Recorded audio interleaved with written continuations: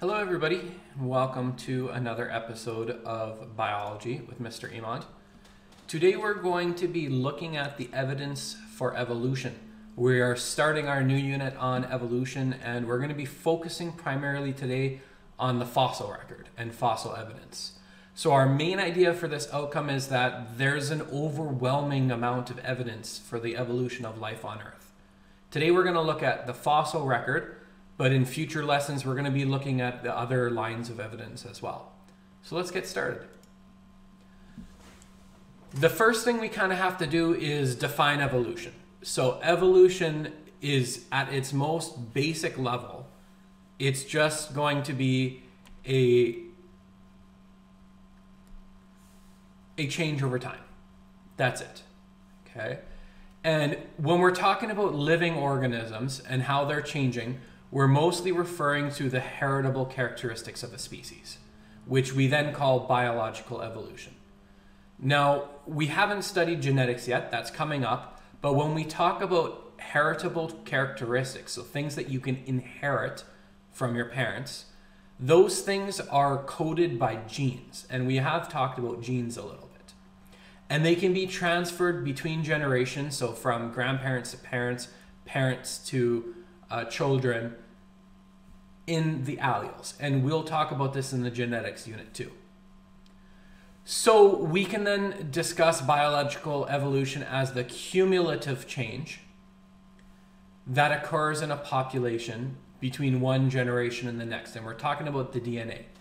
And here's your main definition that we'll be using in this class for evolution, which is it's a change in the allele frequency of a population's gene pool over successive generations.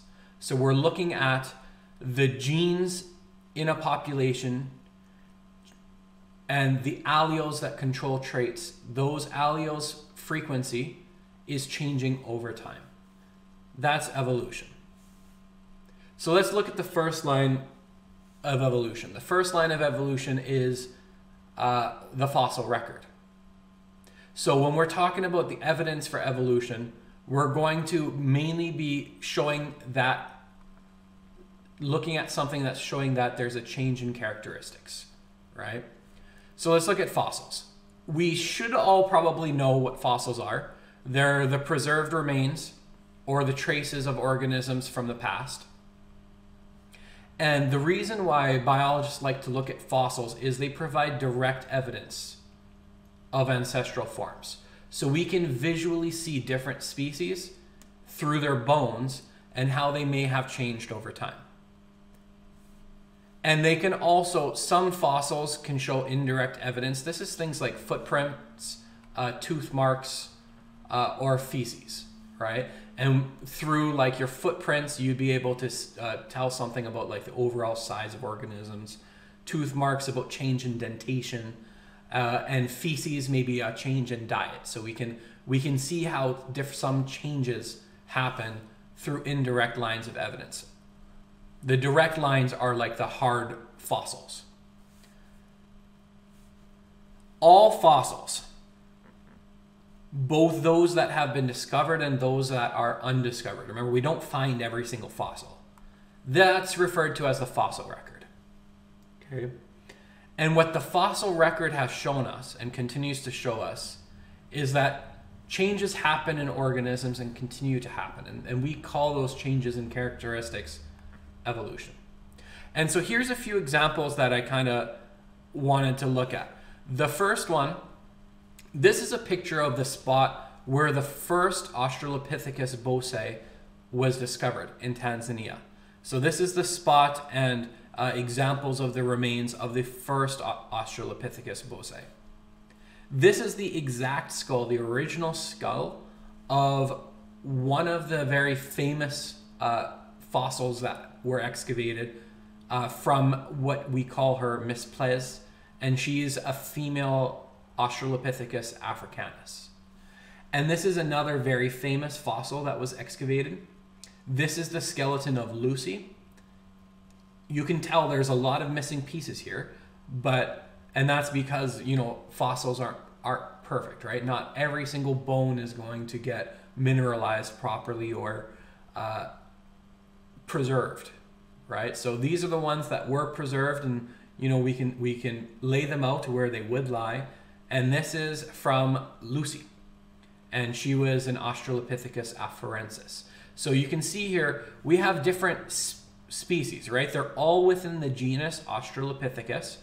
Australopithecus was a gene genus of mammals that came before the hominids. So we are a hominid, we are Homo sapiens, and there are other hominids that are extinct today, but we can see their fossils.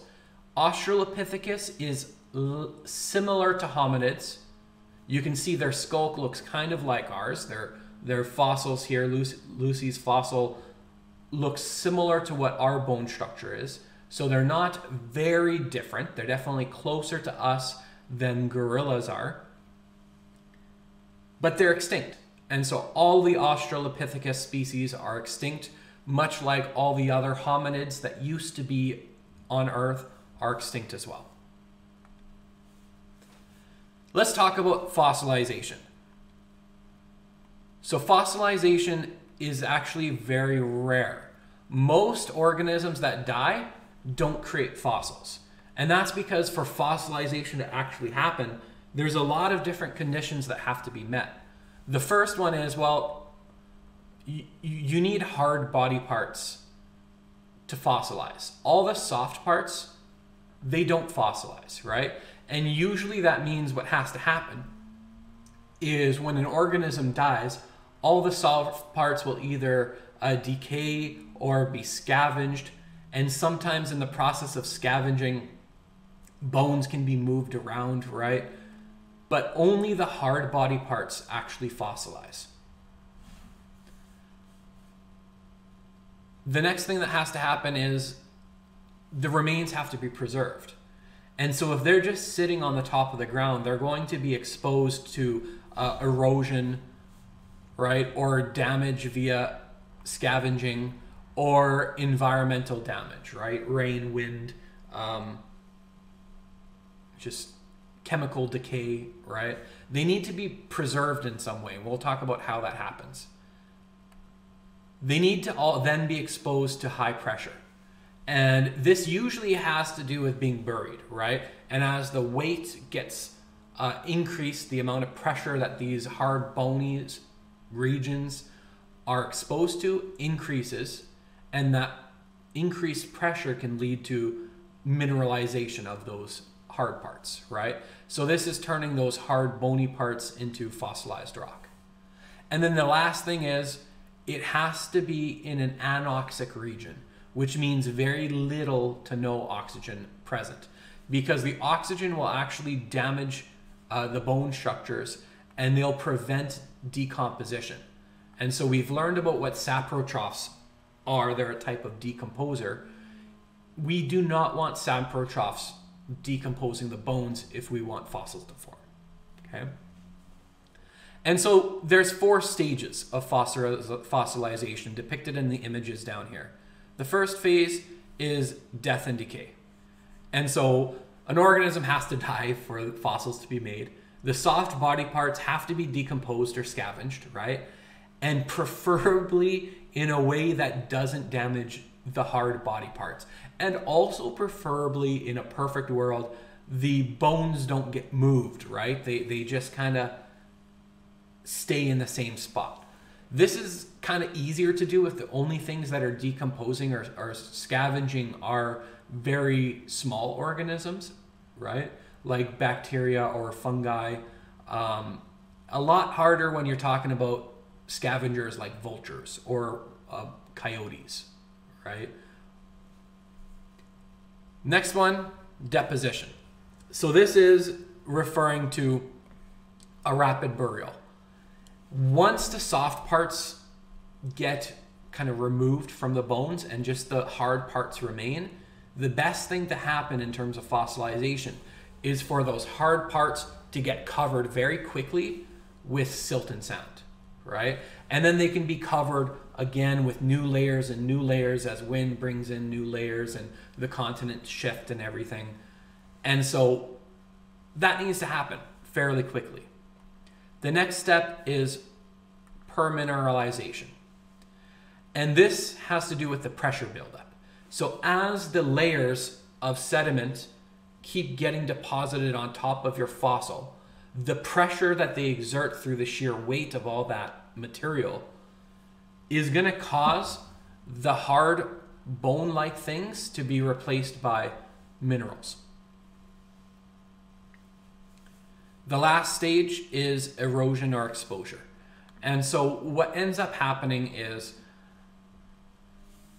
there's a movement of tectonic tectonic plates, right? And these can displace the fossils and return it to the surface. If we don't discover it before that time, the fossil gets exposed and will then erode and disappear, right? So fossils don't last forever just because of the way the earth works and the movement of tectonic plates. Uh, and this is something that you would have learned in previous years, right? One plate sliding under another or on top of another, etc. Okay. Let's talk about the timescales that this all happens. So we know that the Earth is 4.6 billion years old. And we know that the earliest forms of life kind of started popping up 3.5 billion years ago. And we talked about this in previous lessons. Because the timescales are so big, what geologists and biologists tend to do is come up with names for time periods where specific species existed. Because the life that exists on Earth at any moment on the evolutionary clock is different, right? There's been hundreds of mass extinctions, millions and of little minor extinctions, right?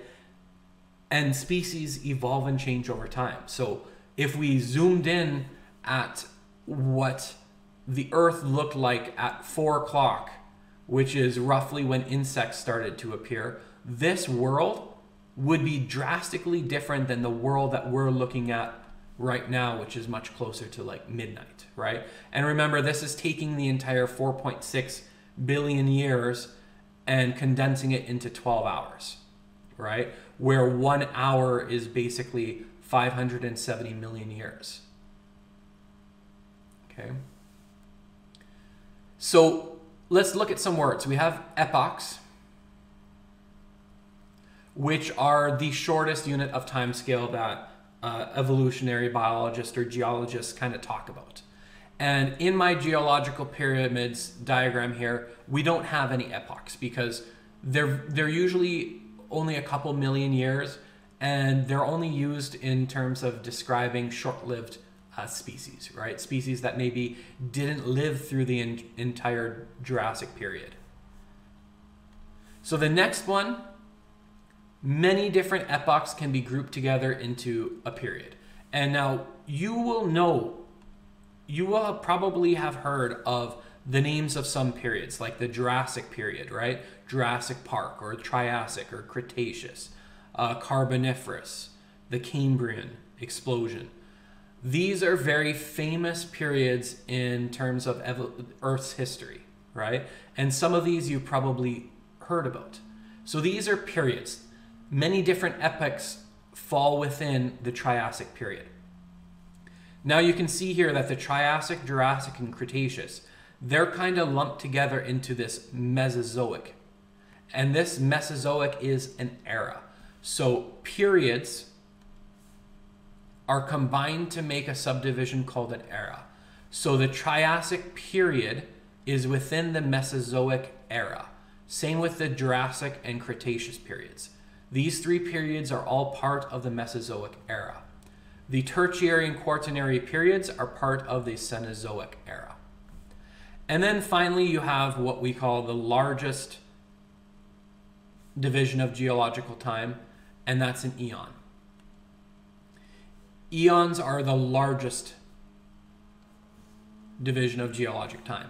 And so if we look at this chart and you have the Paleozoic, which has one, two, three, four, five, six different periods, and the Mesozoic, which has three, and the Cenozoic, which has two, all 11 of these periods fall within the Phanerozoic eon.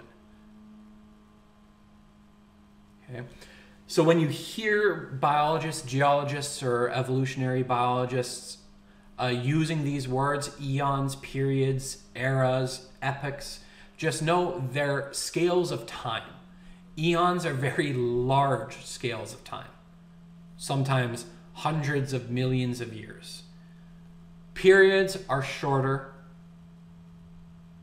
Era, uh, sorry, eras are shorter than eons. Periods are shorter than eras, and epochs are usually the smallest, maybe just a few uh, million years.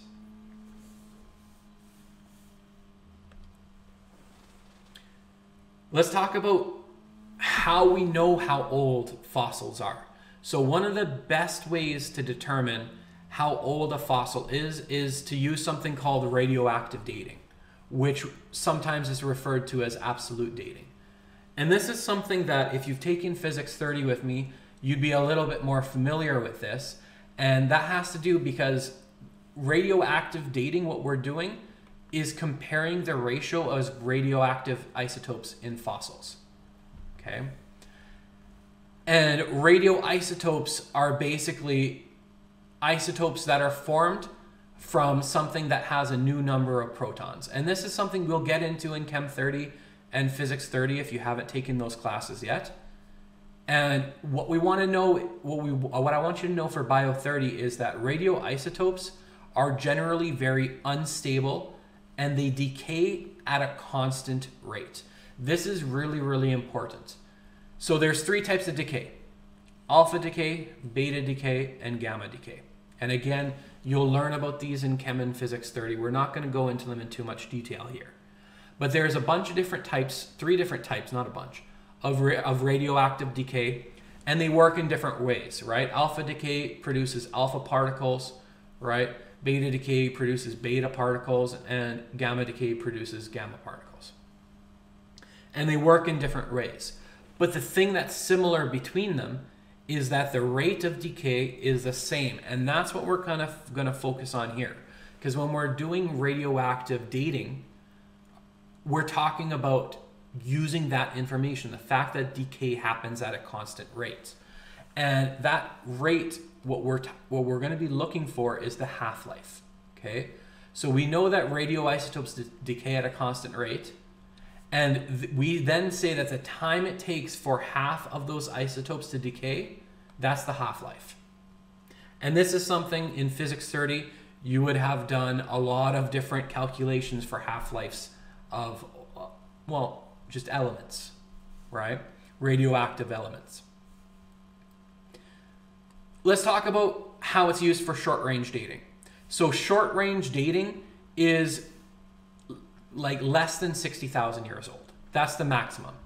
And for short range dating, things that uh, are less than 60,000 years old, what we're looking at, the, the isotopes that we're looking at are carbon 12 and carbon 14. Carbon 12 is stable. Carbon 14 is not, it's radioactive. And so when an organism dies, the carbon 12 doesn't decay and the carbon 14 does.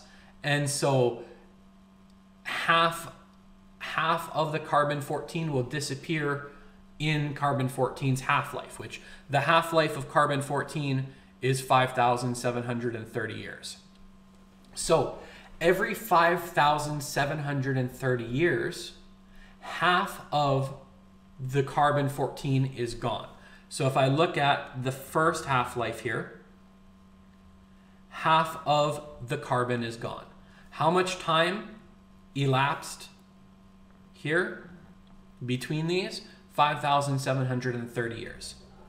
After another 5,730 years, we're now down to 25% of our carbon, and then 12.5%, etc every half life, every 5,730 years, half of our carbon 14 disappears.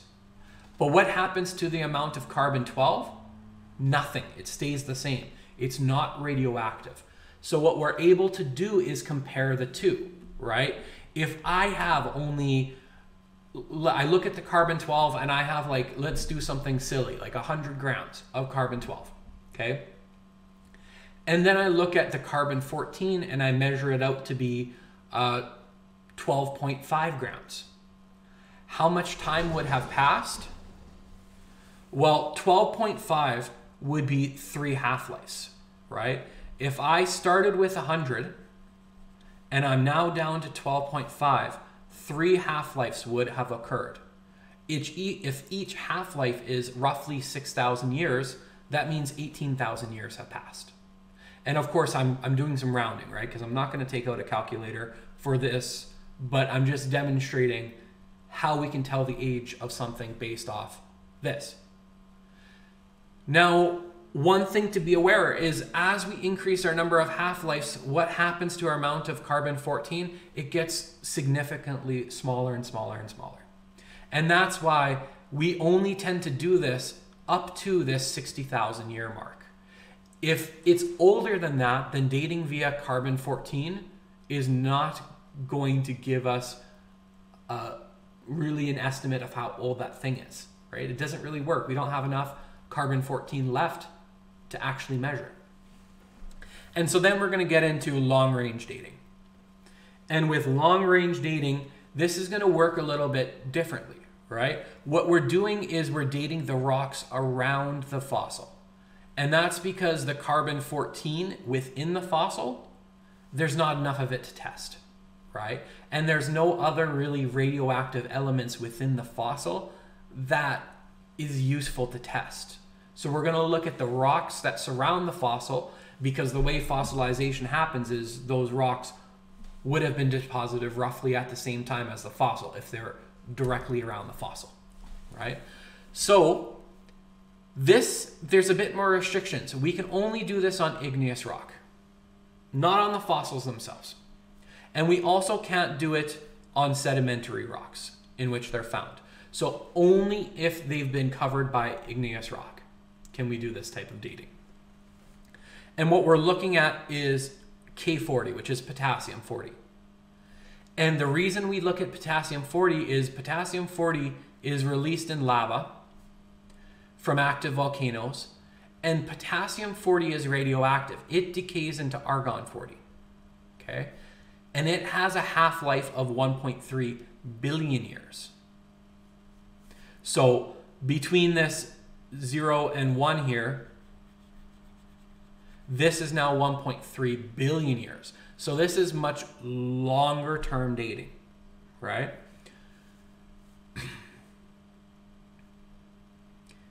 And argon, one thing to remember is you might say, well, maybe the argon came from somewhere else, right? But argon is an inert gas, right? So during the volcanic eruption, the only place that the like volcanoes, yes, they do release argon, right? But the argon is a gas. It would have risen out. The argon 40 could have only come from the decay of potassium 40. And so that's why we use that as our indicator. Okay. So this is long range dating for things that are more than 60,000. And there's other types of dating methods that are used, but we're not going to go into them. We're mostly just going to focus on radioactive dating as one of the methods of determining how old a fossil is. But there other, are other ways to do that. Let's talk about fossil succession. So we know that there's going to be different layers of rock right, that are deposited over time, right? So layer A, B, C, D, E, F, G. And we often call this stratus. And in different stratus and different layers, we're likely going to find uh, fossils from species that lived in the time that those layers were deposited, right? And they're generally deposited deposited chronologically, meaning the older the deposit is, the further down it is, right? So we have uh, this layer of rock deposited 50 million years ago, and then 49 million years ago, another deposit, right? Etc. And within each layer, we're going to find generally the same species, right? So if we look at this layer A, we're going to be very, it's, it's very likely that we're going to find trilobites and ammonites. we would not find trilobites in layer E. Why? Because this layer was deposited probably hundreds of million years after trilobites existed, right? They're only going to be found in layer A.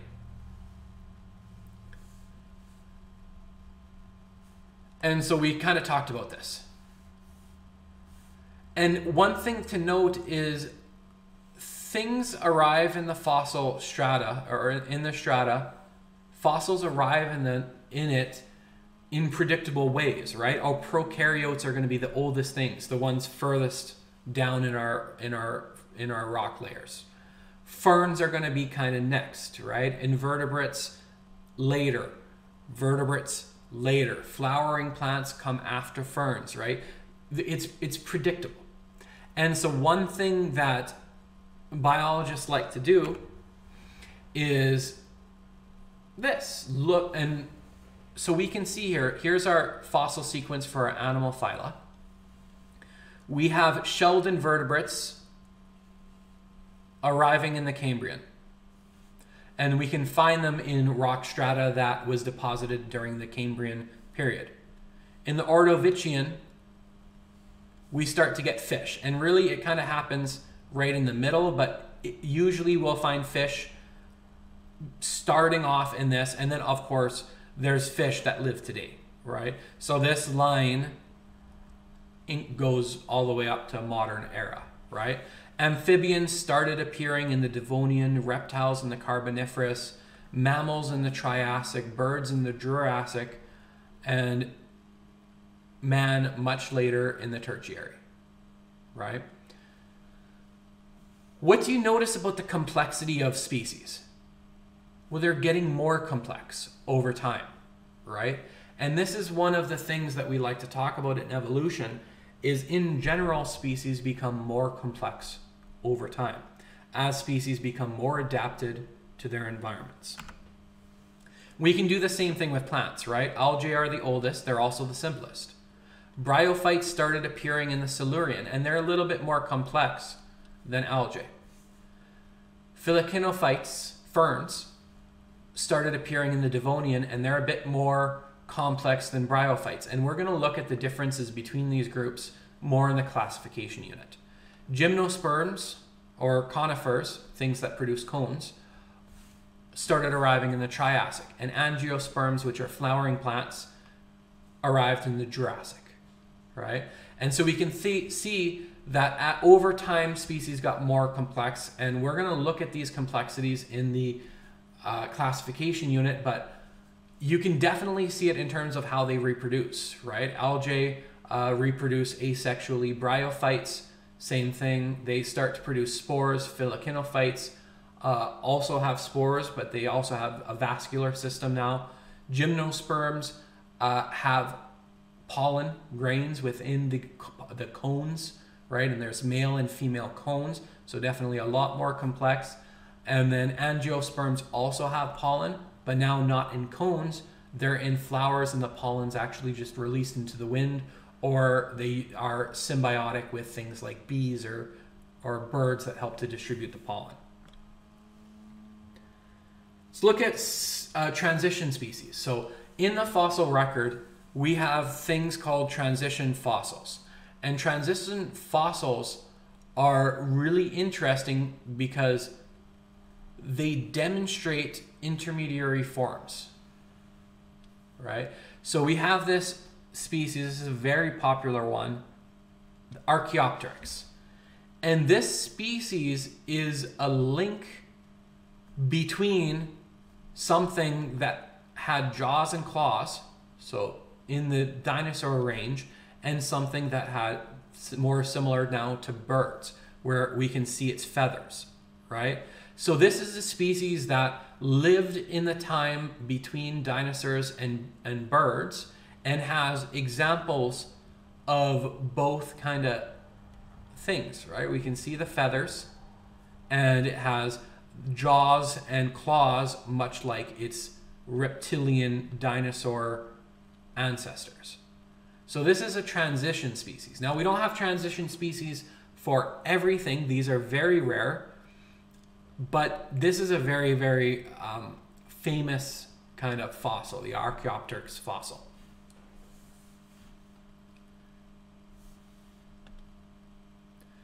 Let's go to uh, talking about kind of humans now.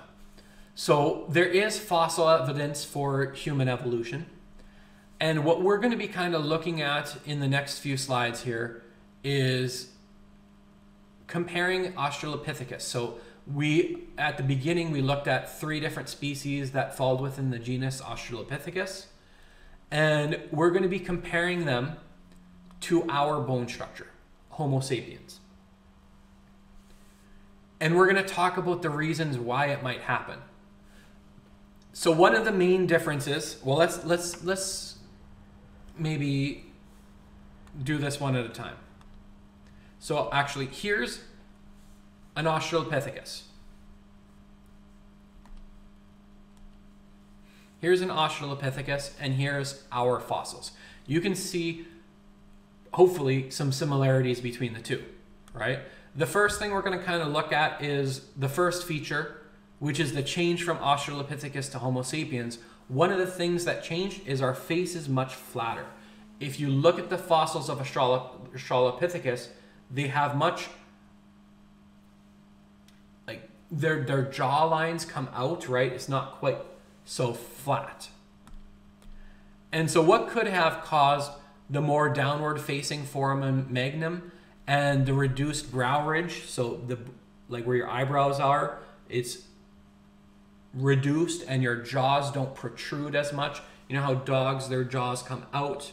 Well, Australopithecus, they're not quite like dogs where they have a big muzzle, but there is definitely a little bit of protrusion there, whereas our face is relatively flat. Why would that have changed? That has to do completely with us changing into becoming bipedal right? Which is walking upright and not using our hands. Okay. Let's look at the next one. Is the narrower jaw, right? And again, this, the narrow jaw, smaller teeth and narrower jaw, this had to do with a change in our diet, right?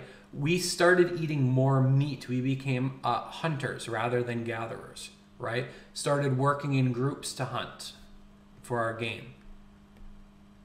Next one, you can see the difference between the chest here. In humans, our chest is more shaped like a barrel, whereas here it's kind of V-shaped, right? Why would that have happened? Where is that?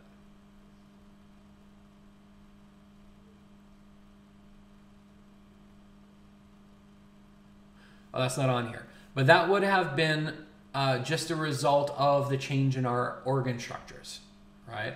Increased size of uh, some organs, decreased size in others.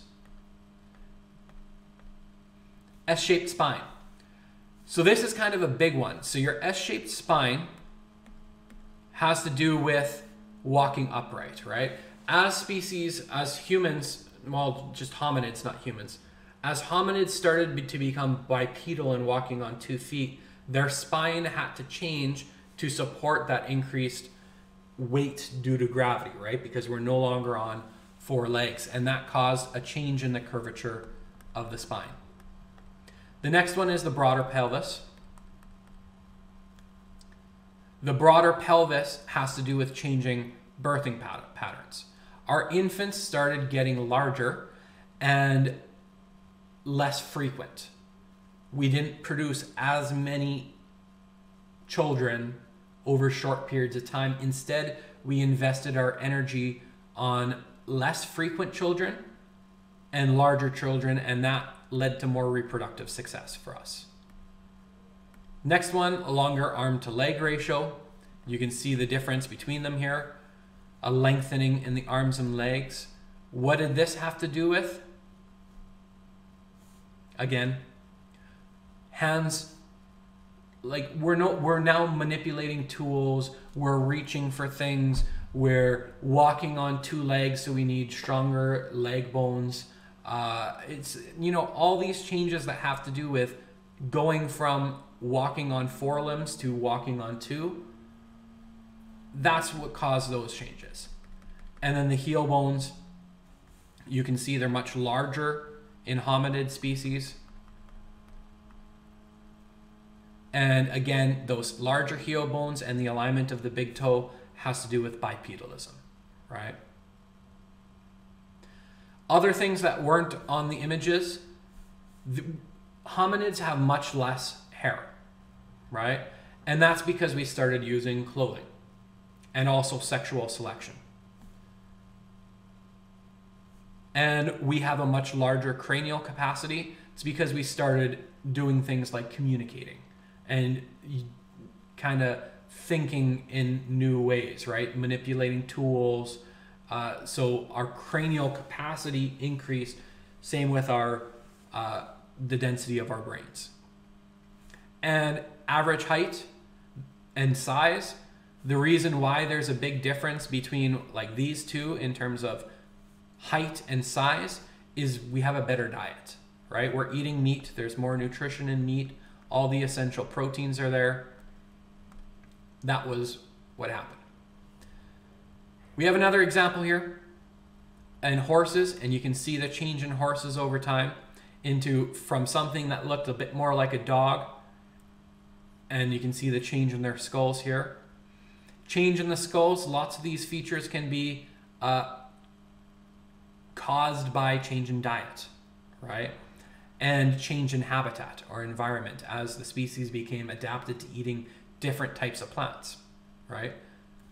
And here you can see the change in their their leg and feet bones into something that had like from three toes into something that has a hoof-like structure.